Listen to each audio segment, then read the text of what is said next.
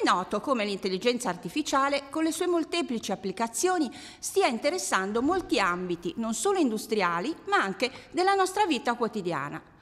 La diffusione del suo impiego sta crescendo di giorno in giorno ed è vista positivamente dal 61% degli europei.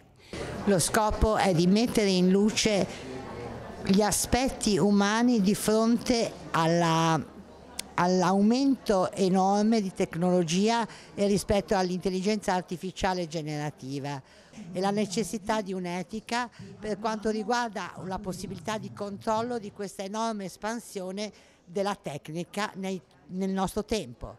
È indubbio che il suo utilizzo stia ottenendo grandi risultati, ma presenti anche dei rischi. Ogni ricerca scientifica può essere utile o non utile a seconda di come viene usata in realtà la tecnologia è già stata molto utile per alcuni aspetti, è stata non facile per alcuni altri aspetti, quindi eh, se c'è il dominio dell'uomo lo potremo usare in maniera fruttuosa per l'umanità stessa. Se non c'è il dominio dell'uomo, beh a questo punto eh, gli scenari che si aprono sono, almeno anche secondo i 300 scienziati che hanno firmato eh, questa, questo sospetto potranno essere anche catastrofici.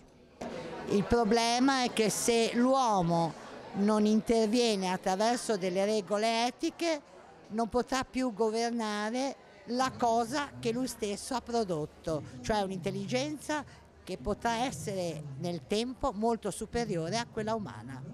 Il tema è stato dibattuto in un incontro organizzato dal Lions Club La Spezia degli Ulivi.